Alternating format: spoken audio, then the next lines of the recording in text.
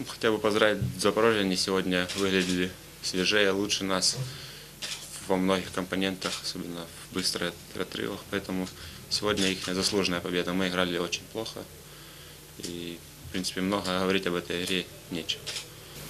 ВК Донецк выступает прошлогодний, на ваш взгляд. Я бы не сказал, что уступает. Индивидуально, я думаю, что сильнее игроки, но мы очень поздно собрались, в разных ситуациях были там сборники, и поэтому думаю, что еще игра наладится у нас, и мы исправим положение. First of all, you know, congrats, you know, to Ferro. They they had really amazing night, you know, like and great, you know, shooting night. Mm. You know, like also when you sometimes you think you did everything, they score, and that was, you know, really disturbing us, you know, during the game. So all hard shots, you know, like three points, you know, over the hand, you know, they score. For us was, you know, like good, you know, like first, you know, like half we handled the situation with also our, you know, like solid offense, but too many turnovers bring us in situation, you know, like to not to have the result. Это была потрясающая игра для Ферра.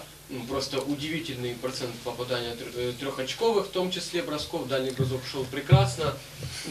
Тяжело сказать, э, вообще тяжело комментировать такую игру. У нас было очень-очень много потерь. Нападение абсолютно не сыграло. Ну, могу только поздравить своих сегодняшних соперников. Ну, мы в первую очередь знали, что это сильный соперник для нас будет. И очень сильно подготовились к нему, потому что, во-первых, по каждым игрокам мы провели очень хорошую работу. Знали все их несильные стороны. И тренер нам сказал быть готовым в- бой, то есть, потому что все свои очки не забивают большинство из-под кольца. Поэтому навязали очень хорошую борьбу из-под кольца что осложнили им забивание всех их очков. И то есть результат был, как вы сами видите, на табло. Не знаю, хорошо или плохо, мне казалось, что это плохо. Вот видите, тренеры какие, часто игры, жалуемся, да. Э, Пауза возникает э, межигровая, вроде тоже так опасаемся, как бы что не вышло.